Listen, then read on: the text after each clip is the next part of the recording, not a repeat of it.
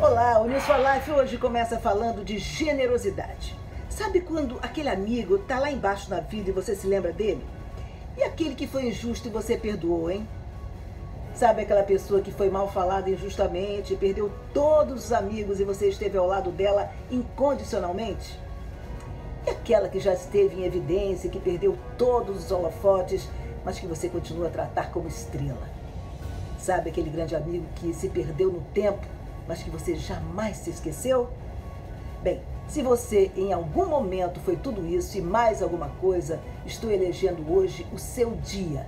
Amigo, companheiro, carinhoso e, acima de tudo, generoso. Parabéns por toda a sua generosidade em algum momento da sua vida alguém que você acha que mereceu ou merece a sua solidariedade.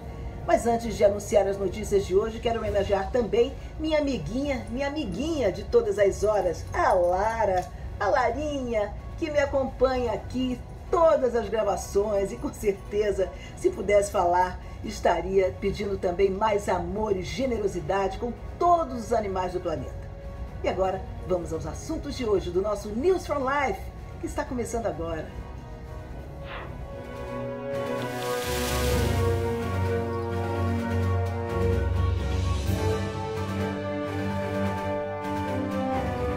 falar em generosidade, será que os candidatos Biden e Trump serão mais generosos e respeitosos um com o outro durante o debate presidencial na próxima quinta-feira? Bem, pelo menos a Comissão de Debates Presidenciais fez algumas mudanças nas regras para o confronto dos dois, na esperança de que seja um pouco mais, digamos, civilizado do que o evento do mês passado.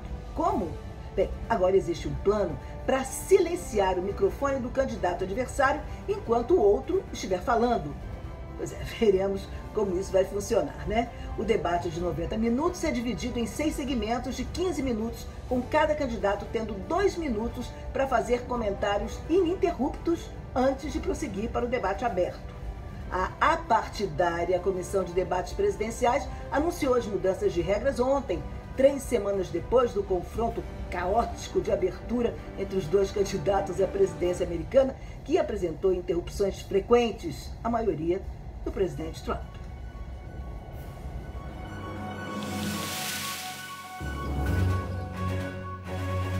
é, enquanto discutem as regras do debate presidencial, a Suprema Corte rejeitou um plano do Partido Republicano para limitar o período de tempo em que as cédulas pelo correio podem ser contadas na Pensilvânia. Agora, as cédulas serão contadas se forem recebidas até três dias antes do dia da eleição, mesmo que não tenham carimbo do correio.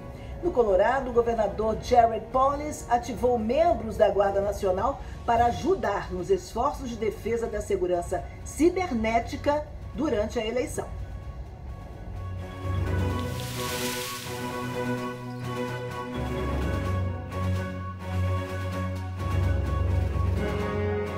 Seis militares russos foram acusados de um suposto ataque cibernético mundial que causou perdas de quase um bilhão de dólares. De acordo com o Departamento de Justiça, o esquema de hacking executado por membros do GRU, o Serviço de Inteligência Militar Russo, teve como alvos grandes potências estrangeiras e ex-repúblicas soviéticas e tentou subverter as investigações sobre as atividades suspeitas do Kremlin. Os esforços incluíram supostos ataques contra a Ucrânia, a nação da Geórgia, as eleições francesas e os Jogos Olímpicos de Inverno de Pyeongchang em 2018, além de esforços para responsabilizar a Rússia pelo uso de Novichok, um agente nervoso para armas em solo estrangeiro. Coincidentemente, o governo britânico acaba de acusar o GRU de realizar ataques cibernéticos a autoridades e organizações envolvidas no planejamento das Olimpíadas de 2020.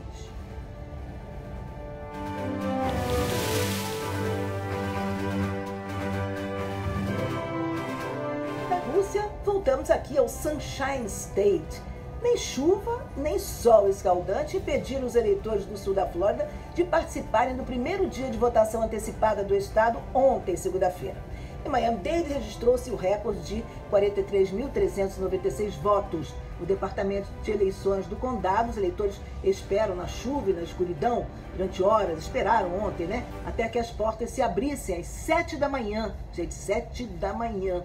Alguns quilômetros ao norte, em Broward, o cenário era bastante semelhante. Filas de eleitores se formaram em torno dos locais de votação de Lauderhill a Hollywood, com 28.113 votos durante o primeiro dia. De acordo com a lei estadual, os condados podem oferecer até duas semanas de votação antecipada e muitos o fazem, entre eles Miami-Dade, Broward e Palm Beach.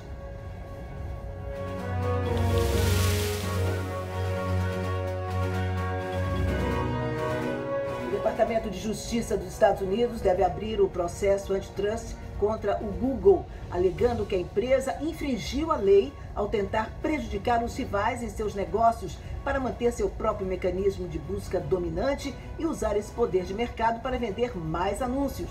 O Google, cujo mecanismo de busca é tão onipresente que seu nome se tornou até um verbo, ainda não se pronunciou sobre esse processo, sobre o assunto a empresa teve receita de 162 bilhões de dólares em 2019.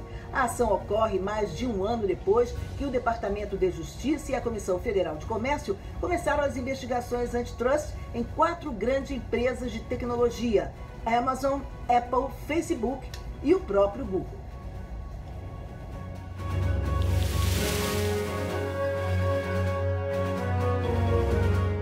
Nova substância foi descoberta para reduzir a carga viral de pacientes com Covid-19. É uma daquelas com aqueles nomes complicadíssimos. Vou falar devagar para vocês entenderem. É a nitazoxanida. É isso mesmo, repetir. Nitazoxanida, cuja descoberta foi através de uma pesquisa do Laboratório Nacional de Biociências em Campinas, São Paulo. A Fiocruz começou uma pesquisa com a vacina da tuberculose para combater o Covid-19 e a União Química deve pedir registro da vacina russa à Anvisa ainda em novembro. Cresce novamente o número de casos de coronavírus na Europa. A Polônia vai abrir hospital de campanha no Estádio Nacional de Varsóvia. E a Irlanda é o primeiro país da União Europeia a retornar o lockdown para conter o Covid-19. Já houve mais de 40 milhões de casos de coronavírus registrados em todo o mundo. Conforme os números aumentam, os testes de vacinas estão evoluindo. O governo do Reino Unido assinou um contrato para os primeiros estudos em humanos, nos quais voluntários saudáveis são deliberadamente infectados com o coronavírus em um ambiente controlado e alguns recebem uma vacina experimental. Esse é um processo diferente de um ensaio típico da fase 3, no qual os voluntários recebem a vacina com a suposição de que, pelo menos, alguns deles serão expostos ao vírus em suas vidas.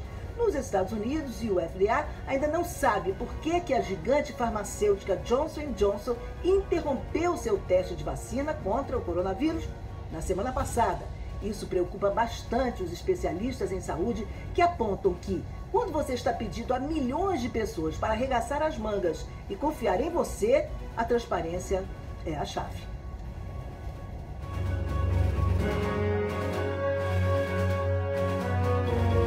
Hoje é o dia de muitas coisas, quer ver? Olha só. Dia do arquivista, dia do maquinista ferroviário, dia do poeta, dia internacional do chefe de cozinha, dia internacional do controlador de tráfego aéreo, dia mundial da estatística, dia mundial e nacional da osteoporose e o dia mundial de combate ao bullying. Esse, sem dúvida, muito importante nos dias de hoje para preservar a autoestima e a saúde mental das pessoas que são vítimas disso. Agora, aos que praticam esse péssimo ato de covardia contra aqueles que, na maioria das vezes, não conseguem se defender, fica o meu repúdio e uma dica, hein? Cuidado que a vida é um bumerangue. Tudo que você lança contra alguém volta com força dobrada para você. E eu fico por aqui com informações da CNN americana, Reuters, NBC6, Fox News e a newsletter Notícias do Dia.